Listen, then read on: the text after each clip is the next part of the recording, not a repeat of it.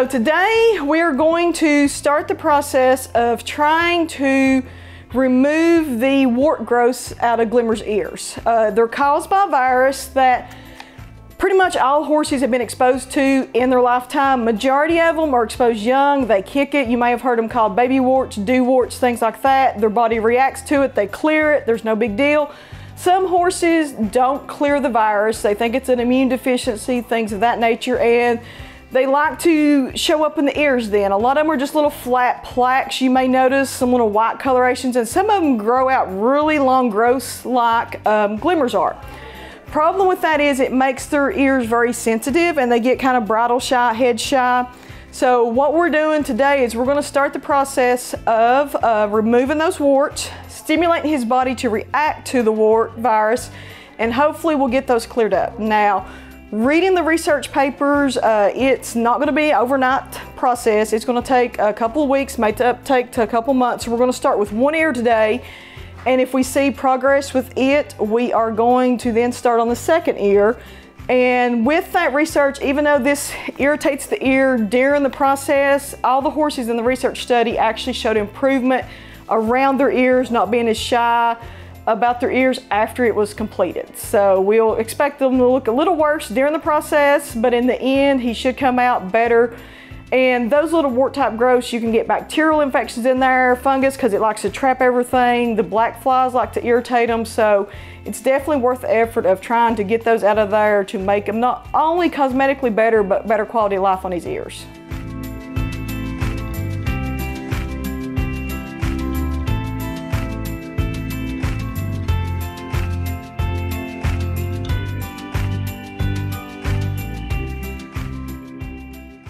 This is Glimmer. Okay, let's go ahead and take him in the surgery room. And everybody just do me a favor because horses do hear tones and voices. So when everything gets really animated, it can cause them to wake up quicker. So just kind of like a golf gallery, you can talk, but just really quietly. So that way, again, not that he's a reactive horse, but it just helps things go smoother along the way. So this first one will just make him sleepy. So he'll just get a little heavy headed and then we'll give him the ones to help him lay down. Yeah, we're fully laying him down just because where he's head shy, it just makes it easier, gives me more flexibility and time to work with him. And we're gonna start with whichever ear he lays down that has upward because both of them are equally as bad. So I'm just gonna let him decide which ear we start with.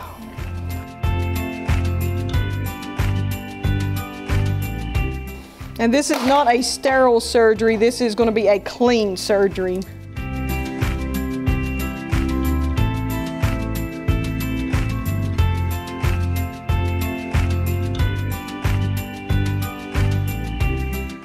I'm just going to go in and literally just peel off with the scalpel blade. And I'm not intentionally trying to make it bleed, but I'm if it bleeds just like that a little bit, I'm not going to panic he feels it a little bit just for the fact is his ears are so sensitive to that. That's why it's worth treating it. So no, it's not painful, painful, but he is feeling me moving it around. And again, he's learned that when people touch his ears, it hurts where they've irritated his ears, so he's gonna be more flinchy. I mean, because they extend way down into the ear canal there. So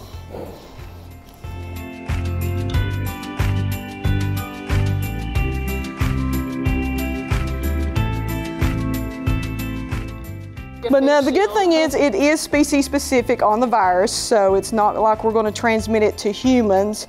But again, my concern is that's why I will take off my scrub top, put my other shirt back on so I don't accidentally transmit it off of my clothing on top or anything like that when we get done. And some of these I'm literally just get, able to peel off my hands. Now he would not let me do this standing because it would be where he's so sensitive about it. Now what I'm paying attention to now is to rake upwards so we don't get anything down in his ear canal. And the way these are so thick, it's kind of hard to plug his ear first. So it's kind of one of those just having to be careful on digging and make certain I rake outward when I get them dug off.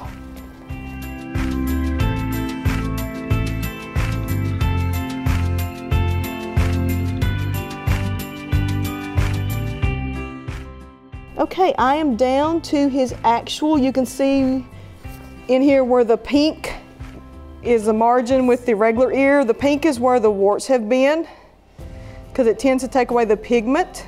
So we are going to dedicate one pair of clippers that are only to be used on him and we will not use it on another horse so we don't spread it by accident that way.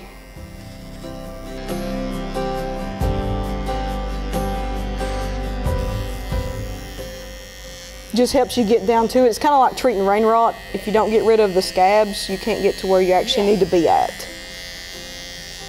I'm actually happy how that debrided. It's just a matter of how long it takes to get his body react where they are not growing back at us. So we're just now going to grab our material. I've made certain there's no gunk down in there. And we are going to do our first topical treatment. This is the, forgive my pronunciation, Imiquid. This is to stimulate his body to react to them. These are designed for human sized packets, so we may use two or three of these today where they're so tiny. But we're gonna make a good coating in the ear.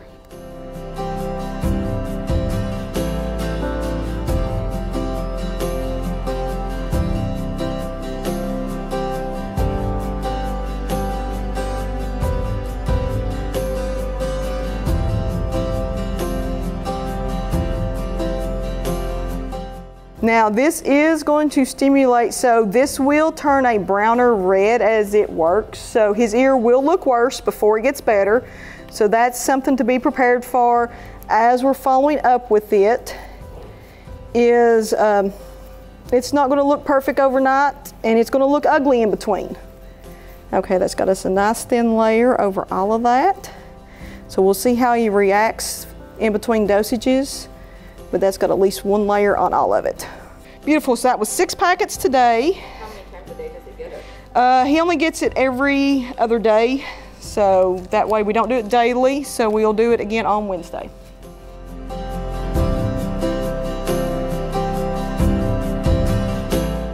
So we know we don't have 100% of it, but this will give us a semi-accurate estimate of how much we removed from his ear. It looks better, I mean, if nothing else, so.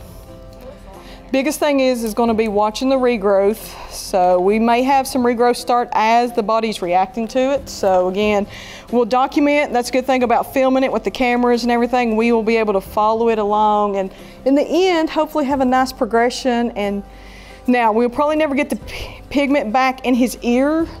It'll probably always be pink like that. So we'd have to watch him for sunburn, a little sunscreen in his ear, things like that.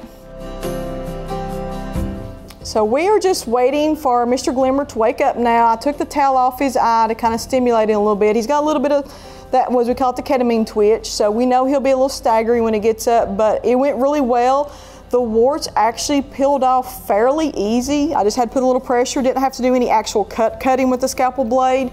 And uh, we took the bag, I'm gonna weigh it to see, because I mean, there was quite a bit going all the way down into his ear canal. Uh, you can see where they were versus where they weren't with they take over, they take the pigment out and it's pink.